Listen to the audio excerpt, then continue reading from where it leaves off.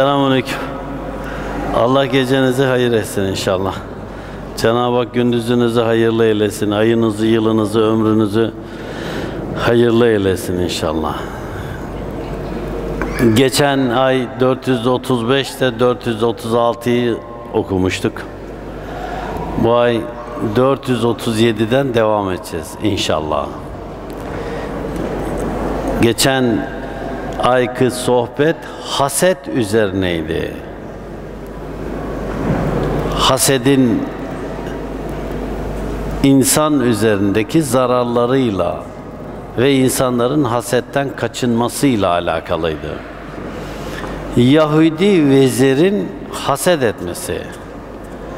Bu bölümün bölüm başlığı bu. O vezirciğin yaratılışı hasettendi. Onun için abes yere kulağını burnunu yele verdi. Vezircik hani bir şey küçüktür ya küçük olunca ona cik denir üstüne. Bu zayıftır çünkü. Aslında onun çok bir böyle bir ağırlığı kıymeti yoktur. Onun çok bir kuvveti yoktur, kudreti yoktur. O yüzden böyle bir şey olunca vezir tam bir vezir olsaydı vezir azam olacaktı. Ama vezir kemal noktasında olmadığından haset, kötü huylar onu sarıp sarmaladığından Hazreti Mevlana Celaleddin Rumi Hazretleri ona vezircik dedi. Vezircik. O vezirciğin yaratılışı hasettendi. Bizim yaratılışımızda hem nefis var, iyilikler var, hem de aynı zamanda da kötülükler var. Bu noktada biz eğer ki iyi yönlerimizi meydana çıkarmazsak bizim kötü yönlerimiz meydana çıkar ve bizi tamamiyetle kötülük sarar. İşte o vezircik haset etmekten dolayı varlığı tamamıyla hasede döndü. Ve bu noktada o haset noktasında durdu. Haset onun içini, dışını, gözünü, elini, ayağını, dilini, kalbini ne yaptı? Sardı. Ve onu o böyle abes yerlere, gereksiz yerleri dinliyordu. Abese kulak kabartmak. Yani hak ve hakikatten kulağını çekip mecaza, yalana, dolana, eksiye, yanlışa doğru kulağına vermek. Hakikat dururken hakikatin dışındaki seslere kulak vermek, hakikatin dışındakileri dinlemek, nefse tatlı gelen, nefse hoş gelen, nefsi ilahlaştıran, nefsi bu noktada Allah'a düşman eden her ne var ise onu dinlemek. O da kulağını ne yapıyordu? Bu noktada abes yerlere dayıyordu ve burnunu da yele vermişti. Yelin biliyorsunuz bir ağırlığı yoktur, bir düzeni yoktur, bir sistemi yoktur, bir temeli yoktur. Hani derler ya böyle avare işlere, o kendisini yele verdi. Veyahut da o parayı pulu yele verdi. Veya o malı mülkü yele, yele verdi. Veya o eş ve çocuğu yele verdi. Yani dağıttı. O da burnunu yele verdi. Yani bu noktada burnu doğru koku alması gereken yerlere burnunu çevirmedi. Doğru koku nedir? Din kokusuydu. Daha önceki beyitlerde Hazreti Mevlana diyordu ki o burun ki din kokusunu almalı. O burun ki iman kokusunu almalı. O burun ki Allah kokusunu almalı. O burun ki Resulullah kokusunu almalı sallallahu aleyhi ve sellemin. O burun ki Kur'an kokusunu almalı. O burun ki Kur'an ve sünnet kokusunu almalı. O burun ki velilerin kokusunu almalı. O burun ki Allah aşkının kokusunu almalı. Allah'ın öyle kulları vardır ki görüldüğünde Allah hatıra gelir. O burun ki görüldüğünde Allah hatıra gelen velilerin kokusunu alsın ve onun kokusuyla kokulansın. Hani ayeti kerimede Allah'ın kokusuyla kokulananlar diyordu ya. İşte o burun ki Allah'ın kokusuyla kokulansın. Allah'ın kokusuyla koku, kokulananların kokusunu alsın o burun. Ama burnunu yele verirse hevaya hevese verdi. Burnunu yele vermek demek nefse düşmek, şeytanın vesvesesine kanmak, şeytanın bu noktadaki rüzgarına kapılmak. O ümitle ki haset iğnesinden akan zehirle mahzunları ta canlarından zehirliye. İşte o hasetle, kötülükle dolan insanlar etraflarındaki insanları kötülükle zehirlerler. Hani bana arkadaşını söyle ben senin dinini söyleyeyim demişti Hazreti Ebu Bekir radıyallahu an hazretleri. İşte herkes etrafına kendi kokusunu yayar. Bir kimse haset ehli ise etrafına haset kokusunu yayar. Bir kimse eğer cimri etrafına cimrilik kokusu yayar. Bir kimse cömertse etrafına cömertlik kokusu yayar. Bir kimse iman ehli ise etrafına iman kokusu saçar. Bir kimse imandan uzaksa imandan uzak kokusunu saçar. Şeytanın peşinden gidenler şeytani koku yayarlar. Rahman'ın peşinden gidenler ise rahmani koku yayarlar. Bir kimsenin kalbinde ne var ise dilinde de o vardır. Sufiler derler ki kalp dükkan, dil tüccardır. Bir kimsenin kalbi dükkandır. Eli, ayağı, gözü, kulağı, dili tüccardır. Kalbinizde ne varsa elinizde o vardır.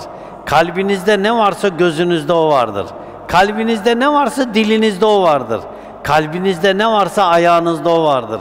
Kalbinizde ne varsa vücudunuzdan o fışkırır. Başka bir şey fışkırmaz.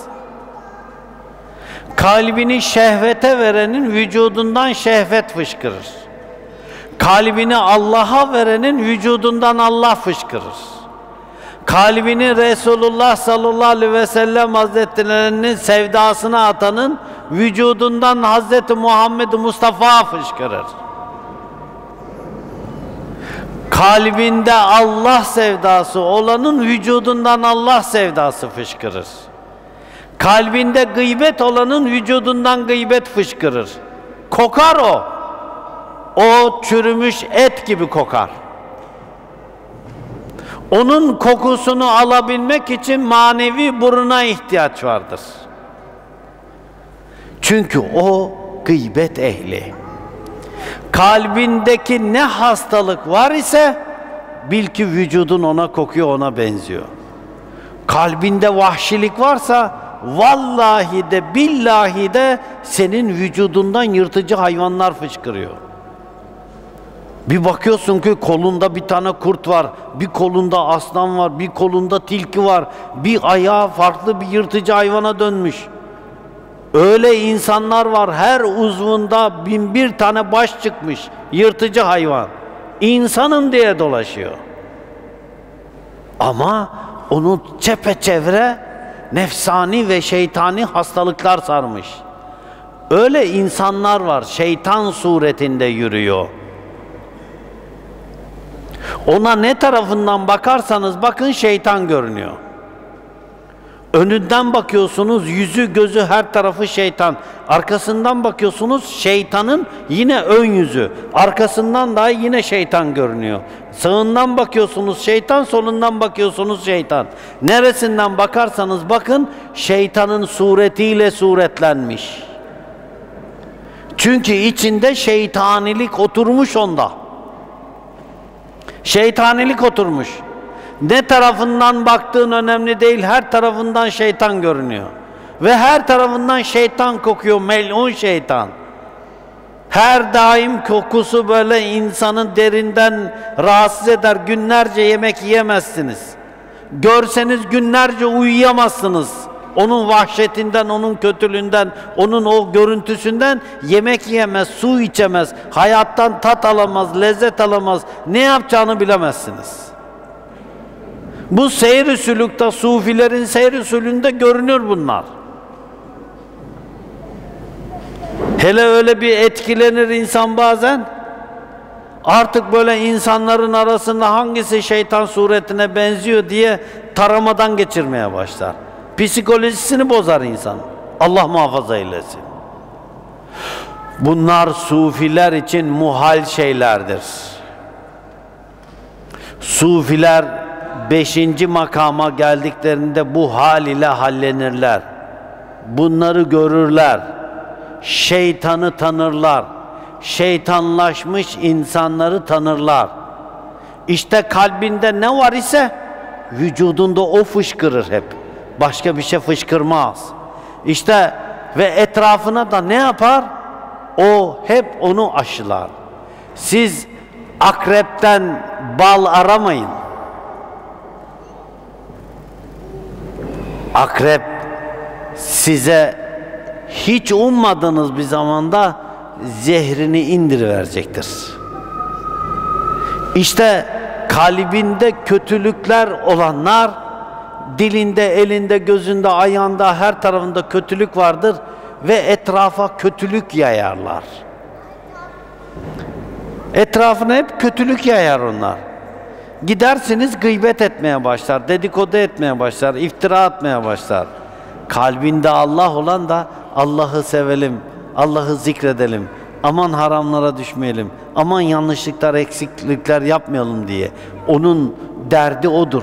Öbürkünün derdi vay gördün mü filanca hanım ne yapmış, fişmanca adam ne yapmış, şu şöyle olmuş da bu böyle olmuş. Anadolu Ajansı gibi. Allah muhafaza eylesin. Ve bunlar bu kötülükler, şerleri önde giden insanlar hep mahzum, mahzun insanlara kötülük yaparlar.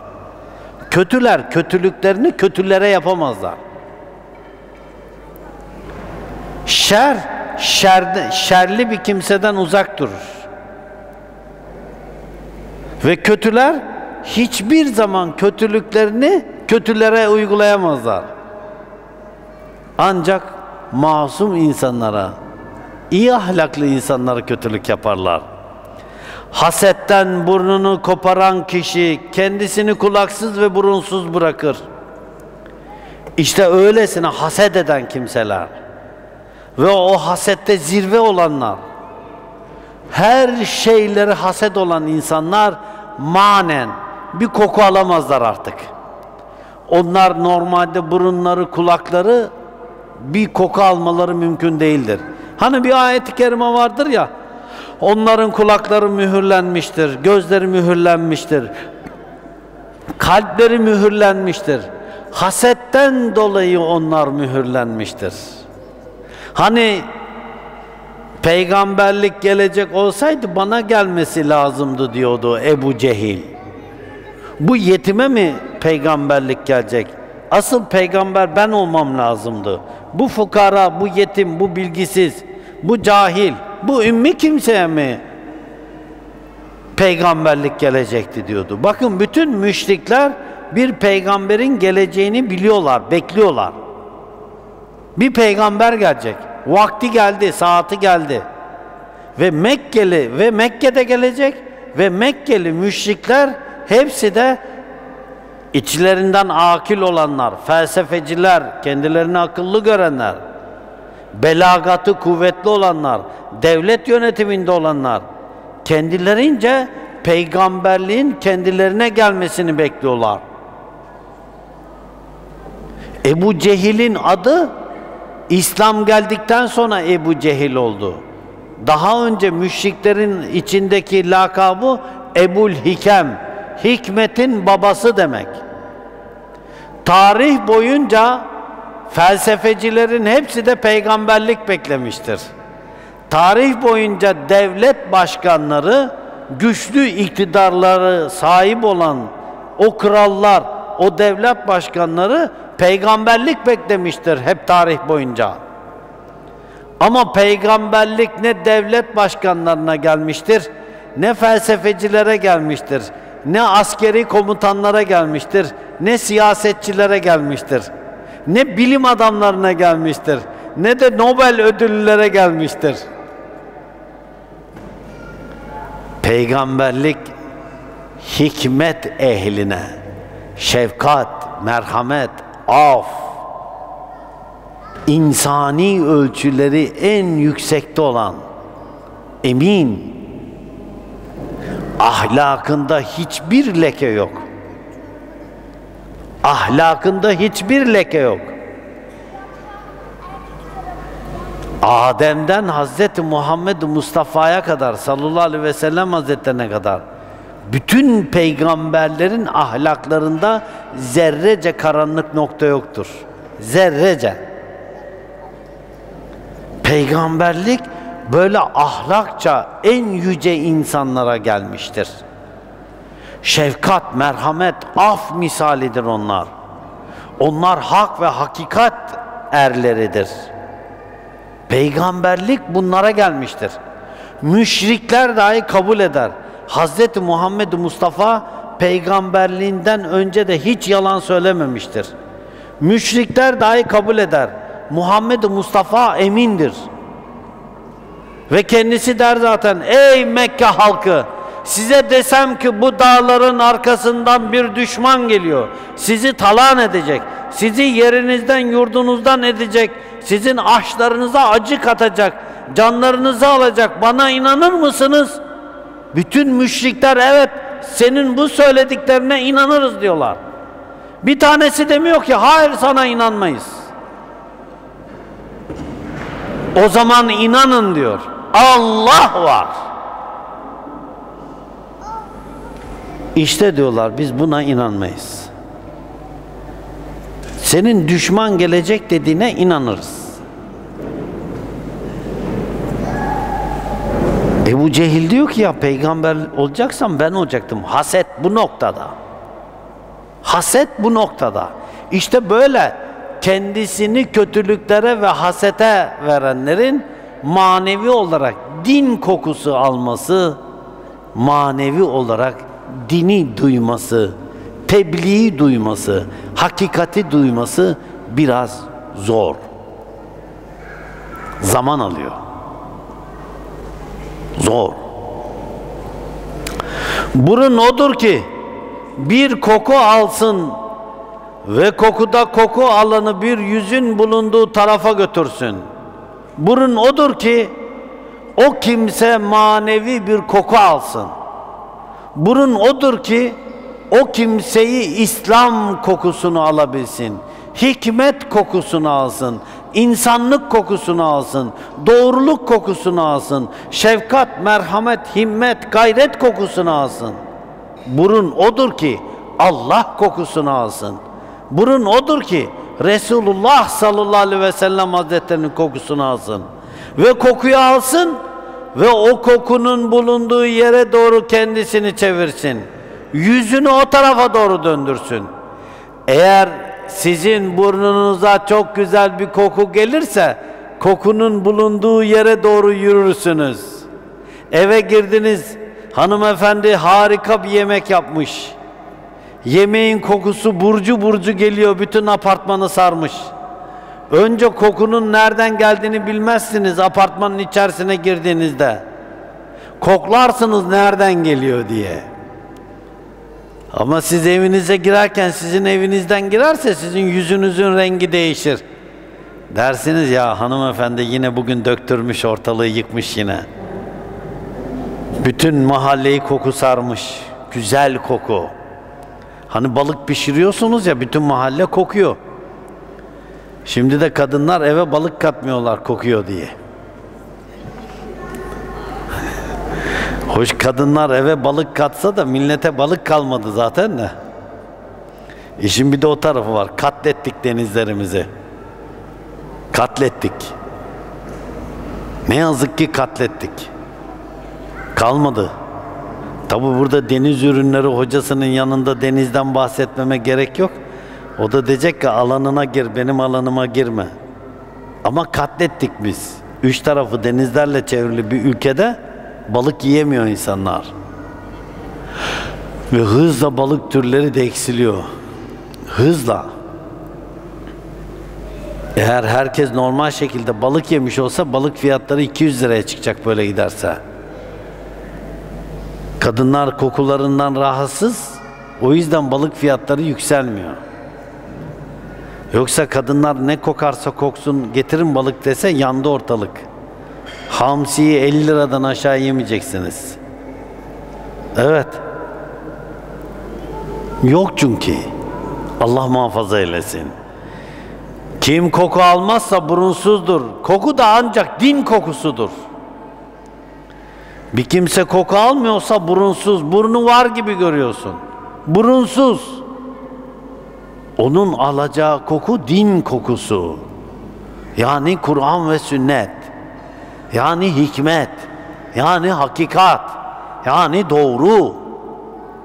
Koku o. Eğer o kokuyu alamıyorsa bir kimse burnu olsa bile burunsuz. Bir koku alıp onun şükrünü eda etmeyen kimse küfranı nimet etmiş ve kendi burnunu mahveylemiştir. Bir koku aldın, bir din kokusu aldın, bir İslam kokusu aldın, bir Kur'an sünnet kokusu aldın. İki rekat namaz kıldın. Bir abdest aldın. Geri dönme artık. La ilahe illallah Muhammeden Resulullah dedin. Geri dönme, dinini yaşamaya gayret et. O kokuya sırtını çevirme. O girdiğin yola sırtını çevirme. O lütfa, o ikrama, o ihsana geri çevirme kendini. Nankörlerden olma. Allah bir nimeti kulunun üzerinden almaz ta ki kulu o nimete nankörlük etmediği müddetçe. Allah bir nimeti kesmez eğer ki kul o nimete nankörlük etmez ise. Musa aleyhisselamın kavmi cennetten gelme bıldırcınla helva besleniyorlardı. Cennet meyvası, cennet nimetiyle ve her gün cennet nimetiyle nimetleniyorlardı. Bir gün dediler ki Musa'ya, ya Musa bıktık artık biz bu cennet nimetleriyle. Bu Yahudiler böyle enteresan bir topluluk. Ayet-i kerimede diyor ki, onlar yeniden soğan sarımsak yemek istediler. Ve ne yaptılar? Cenab-ı Hakk'ın cennet nimetine nankörlük ettiler. Küfran ettiler. Vaktaki İsa aleyhisselam zuhur etti. İsa peygamberlikle müjdelenip peygamberlik yapmaya başladığında havarileri dedi. Çünkü İsa aleyhisselam Beni İsrail peygamberi. Beni İsrail peygamberi olduğu için Yahudiler biliyorlar. Musa aleyhisselamın bıldırcın etiyle kavminin nimetlendiğini imtihan ediyorlar. Bu gerçekten peygamber mi değil mi? İsa aleyhisselama havariler diyorlar ki ey İsa Rabbine dua et de bize gökten sofra indirsin. Ayet-i kerime böyle. Ve İsa aleyhisselam diyor ki siz haddi aşanlardan oldunuz. Korkarım bununla imtihan olursunuz. Hani çok özür dilerim Hristiyanların şimdi yoğurtu bayramları var ya yemek yiyorlar ya. O yemek o günün kutlaması. Ve İsa aleyhisselam hemen namaza duruyor. Namazı kılıyor ya Rabbi diyor bize sofra. Ve ona sofra iniyor. Ama şartlı. Cenab-ı Hak diyor ki ey İsa havarilerine söyle. Her gün onlara cennetten sofra indireceğim. Ama onlar ertesi güne asla yemek ayırmayacaklar. Ve asla ertesi güne bir lokma dahi saklamayacaklar. Biriktirmeyecekler. Ya gece Geceye kadar onları dağıtacaklar. Onları yiyecekler ya da yedirecekler. Ben ganiyim, ben zenginim. Her gün size sofra indireceğim. Her gün sofra inmeye başladı havarilere. Her gün. Ne zaman ki havarilerden birisi nefsine uydu, nimete nankörlük etti. Ertesi güne sofrayı sakladı. Saklayınca işte o küstahlıktan, o nankörlükten dolayı Cenab-ı Hak gökten sofrayı onlara kesti. Eğer bir kimsenin üzerinde bir nimet var ise o nimete nankörlük etmediği müddetçe Cenab-ı Hak o nimeti o kimseden kesip almaz. Üzerinde bir nimet var. Ona hamd et, ona şükret. Sen ne kadar hamd edersen, şükredersen şükret, şükret, onun karşılığı olmayacak. Ama sen sana düşeni yap. Sen üzerindeki nimetlere hamd et. Gözün görüyor, hamd et. Kulağın duyuyor, hamd et. Elin ayağın sağlam, hamd et. Düşünebiliyorsun, hamd et. Fikredebiliyorsun, hamd et. Nefes alabiliyorsun, hamd et. Her üzerindeki nimete hamd et. Üzerinde bir kıyafet var. Aman bu eskidiydi deyip de ona hor hakir görme. Onu hamd et ona. Mevlevi adabıdır. Mevleviler bütün kıyafetlerini giyerlerken öperler başlarına koyarlar. Hamd ederler. Der ki bu kıyafet olmasaydı çıplak kalırdım ben. Yorganı örterken öperler yorganı. Yorgan olmasaydı Cenab-ı Hak bu nimeti vermeseydi üşürdüm. Yatacaklarında yastığı öperler. Der ki yastık olmasaydı boynum ağrırdı benim. Yatacakları zaman yatağın ucundan öperler. Oh! Olmasaydın nerede yatardık? Sırtımız ağrırdı derler. Nimete hamd etmek, elinde bulunanı hamd etmek, üzerinde bulunanı hamd etmek. Cenab-ı Hak iyi kötü bir arabacağız vermiş hamd et sen. Cenab-ı Hak iyi kötü iyi kötü bir eş vermiş sana hamd et. Cenab-ı Hak çocuk vermiş sana hamd et. Büyük nimet. Akşam olmuş bir çorba kase var sofrada. Hamd et. Allah bir adam vermiş sana hamd et. Kör olasıca adam geldi gene değil mi? Allah bir hanım vermiş, evde bir hanım var. Lan gene o namert kadının yüzünü görmeye gidiyorum deme. Hamd et. Hamd nimetlerimizi artırırız. Ayet-i kerime. Hamd edenlere nimetlerimizi artırırız. Hamd edenlere. Sen hamd et. Ya bu kötü kadına mı layıktım deme. Sen hamd et merak etme onu iyileştirir o.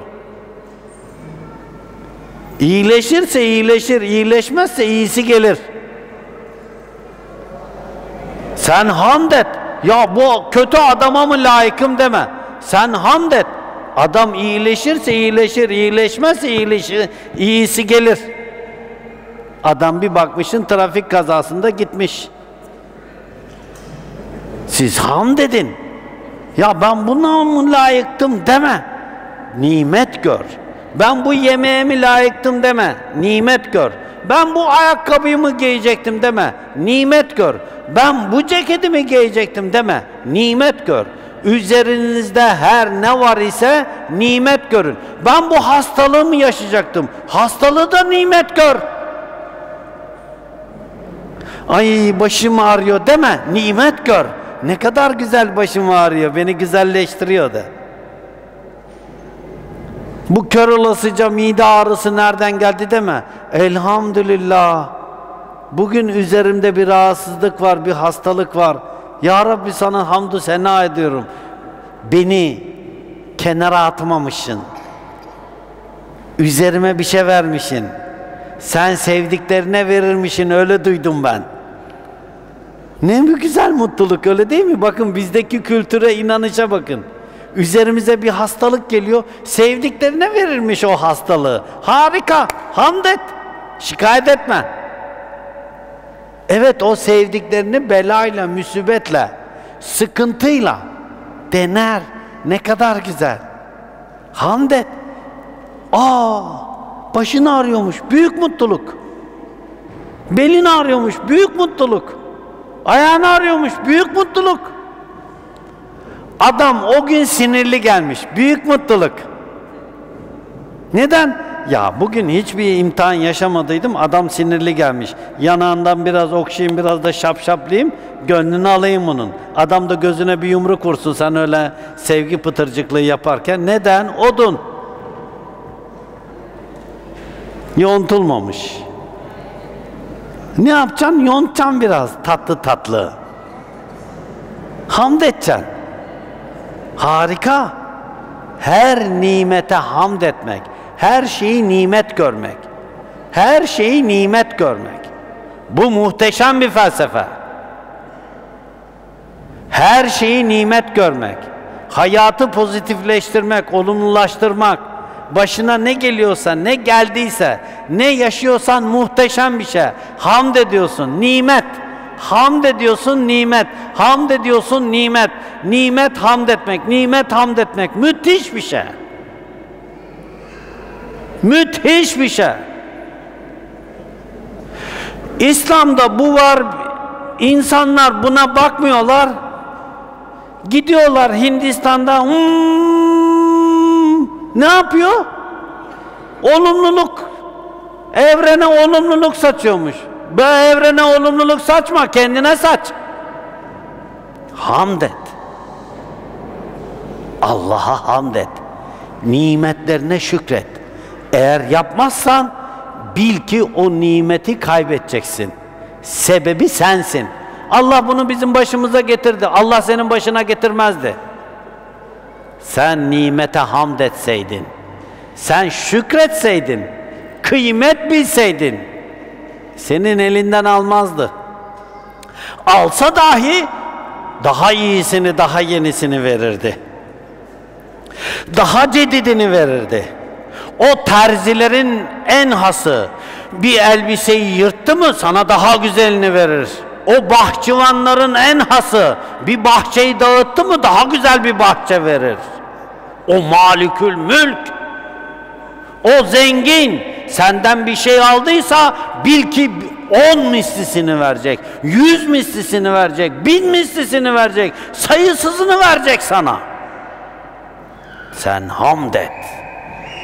Sen şükret. Sakın nankörlerden olma. Sakın vefasızlardan olma. Sakın hainlerden olma. Sakın nimetlere sırtını dönenlerden olma. Sakın o Mu Musa aleyhisselamın kavmi olan Yahudiler gibi soğan sarımsak yiyeceğim deme. Küstahlık yaptılar. Nimeti görmediler. Allah muhafaza eylesin. Hem şükret, hem şükredenlere kul ol, onların huzurunda ölerek ebedi hayat kazan. Aman ha! Hamd et, şükret. Hem de hamd edenlerin, şükredenlerin yanında dur. Onlara hizmet et edeple. Onların yanında bulun ki hamd etmekten, şükretmekten hiç ayrılmayasın. Nefsine uymayasın. Şeytan sana bir yol açmasın, galebe gelmesin. O şükredenlerin, hamd edenlerin yanından uzaklaşırsan bil ki sen şeytanın kucağına düşersin. Elhamdülillahi Rabbil Alemin. Alemlerin Rabbine hamd ederim. O zaman alemlerin Rabbine hamd edenlerle beraber ol. Alemlerin Rabbine hamd edenlerle beraber olursan nefsine uymaz, şeytana uymaz, hamd edenlerin yanında durursun. Allah peygamberini sallallahu aleyhi ve sellem hazretlerine ikaz etti. Ey Habibim nefsini o sabah akşam Allah'ı zikredenlerle beraber tutmaya zorla. Sabah akşam Allah'ı zikredenlerle beraber olmaya zorla.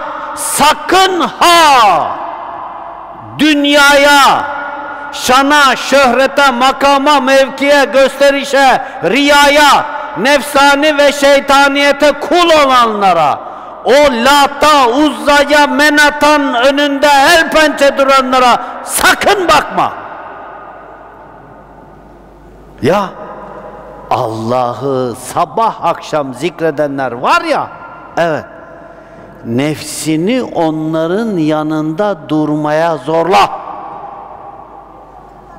Hazreti Mevlana diyor ki şükret, hem de şükredenlerin yanında dur, onlara kul ol. Yani onların etrafında dur, onlarla beraber ol, onlara hizmet etmeye çalış. sakın nefsine uyup, şeytana uyup, azgın ve sapkınlardan olanların yanında olma. Elhamdülillahi Rabbil Alemin. Errahmanurrahim Maliki Yevmiddin. İyyâke na'budu ve iyyâke nestaîn. Ancak sana ibadet eder, ancak senden yardım dileriz. Onların yanında dur. İn'am ettin, ihsan ettin. İhtina sıratel mustakim. O in'am ettin, ihsan ettin. Kullarıyla beraber ol. Sakın onlardan uzak durma. Maddi manevi. Yoksa şükrünü eda etmiş sayılmazsın. Yoksa şükredenlerden sayılmazsın. Bismillahirrahmanirrahim. Vel asri inel insane lefil husrin. Bütün insanlar hüsrandadır. Sakın o hüsrana uğrayanlardan olma. Ya şükredenlerden, hamd edenlerden ol. Vezir gibi sermayeyi yol vuruculuktan edinme. Sakın Kur'an ve sünnete yol vuruculuk yapma. O sufi yoluna yol vuruculuk yapma. Sufi yoluna hainlik yapanlardan olma. Kur'an ve sünnet yoluna hainlik yapanlardan olma. Sakın içinde kin, nefret biriktirme. Sakın din adına insanları aldatma, kandırma, paralarını ütme, makam mevki sahibi olmaya çalışma. Yol vurucu olma. Ben ehli tarikatım deyip insanlara şeyen illah deme. Ben sufiyim deyip akşama nerede yemek yedireceksiniz bana diye sorma. Sufilik de insanları kaldır, kandırma, aldatma. Dinle insanları aldatma, kandırma. Aldatma, kandırma. Sakın yol vuruculardan olma. Sakın çalıp çırparaktan, insanların hakkına, hukukuna girerekten mal, mülk biriktirenlerden olma. Bir başkasının hakkına girerekten bir makam sahibi olanlardan olma. Ya bu zamanda başka türlü makam sahibi olunmuyor. Gideyim biraz siyasilerin yanında yalakalık yapayım. Beni şuraya müdür yapsınlar. Deme. Deme. X partiye şirin görüneyim de bana bir makam versinler. Düşünme. E işte biliyorsunuz biz de Müslümanız da müminiz de biz de işte Sufiyiz de e bize de buradan bir kapı bir ekmek kapısı. Yapma yol vurucu olma. Satma kendini. Dinini metaya değişme. İmanını metaya değişme. Yolunu metaya değişme. Dimdik yaşa. Ne dedi müşrikler? Ey Muhammed sallallahu aleyhi ve selleme. Eğer derdin kadınsa Mekke'den istediğin kadını beğen, evli ise boşatalım. Sana verelim. Bekarsa zaten senin. Derdin devlet başkanı olmaksa gel bizim başımızda devlet başkanı ol. Sana devlet başkanlığını verelim. Yok derdin para ise gel hazinenin anahtarlarını sana verelim. Sen hazineden sorumlu ol. Bakın insanları bu üç şey, toplumları bu üç şey bozar. Sufi bu üç şey bozar. Bir, devletin başına geçip güç sahibi olup devletin başına geçip derken bizim devlet değil ha. Devlet Bahçeli değil. Onun başının başına geçecek gibi halimiz yok. Öyle bir şey aklınıza gelmesin. Devlet derken mevcut bir sistem. Para, hazine, kadın, şehvet, lat, uzza, menat. Üç şey. Güç, Para, kadın, Lat, Menat, Uzza. Ayetle sabit. Başka ilahların adı geçmiyor ayet-i kerimelerde. Bu üç tane ilahın adı geçiyor. Lat, Uzza, Menat. Güç, kadın ve para. Bunun üçünü de Hz. Muhammed Mustafa'ya Mekke müşrikleri sunuyorlar. Diyorlar ki gel istedin bunlar ise sana verelim. Cevap müthiş. Bir elime ayı, bir elime güneşi verseniz Eşhedü en la ilahe illallah ve eşhedü enne Muhammeden abduhu ve resuluhu demekten vazgeçmeyeceğim. Yol vurucu olma.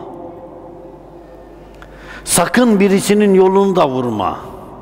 Sakın yola uygun hareket etmeyerekten yola laf getirenlerden olma. Allah kullarını namazdan men etme. Hani var ya çıkıyorlar şimdi. Televizyonlarda var. Namazın şekli öyle mi? Namaz öyle mi kılınması lazım? Böyle mi kılınması lazım? Oruç öyle mi tutulması lazım? Böyle mi tutulması lazım? Bence böyle olmaması lazım. Son bomba bu. Namazdan men etme insanları. Oruçtan men etme. İnsanların ibadetlerini ifsad etme. Bozma. Bozma. Ve devam ediyor. O kafir vezir din nasihatçisi olarak hile ile badem helvasını sarımsak karıştırmıştı.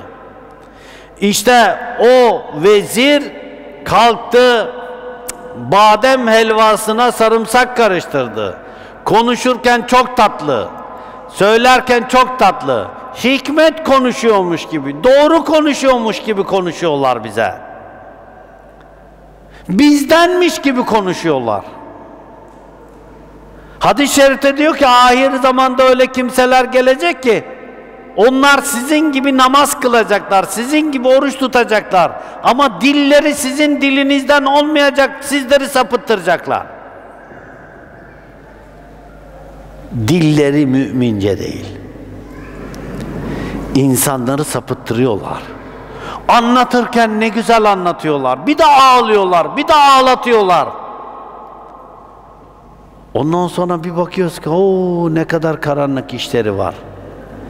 Dışları yeşil türbe, içleri estağfurullah töbe. Dışı muhteşem ama. Bir bakıyorsun harika. Sanki diyorsun türbe gibi. Kadın türbe gibi. Etrafında dön. Ama bir de git gelinine sor onu. Kadın türbe gibi ama bir gelinine sor, bir damadına sor.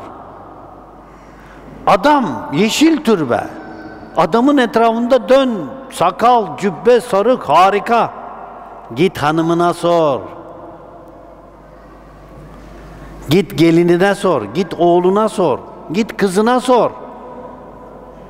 Neden? Ya insan en yakınına kendisini saklayamaz. Etrafa saklar kendisini. Hanımı 20 yıllık, 30 yıllık saklayamaz. Kocası 20 yıllık, 30 yıllık saklayamaz. Çocuklarına saklayamaz. Çocuğu birisi döktü, kırdı anında. O zaman onun görünecek hal ve hareketi. Saklayamaz kendini. Git ona sor. Eğer dışarıdan göründüğü gibi yeşil türbese söyleyecek laf yok. Ama yok. Dışı yeşil türbe benim gibi. İçi estağfurullah tövbese eyvah ki eyvah. Allah muhafaza eylesin.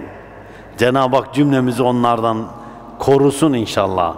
O hilecilerden, o desisecilerden, o Müslümanların imanlarıyla, İslamlarıyla oynayan ümmeti Muhammed'i korusun inşallah.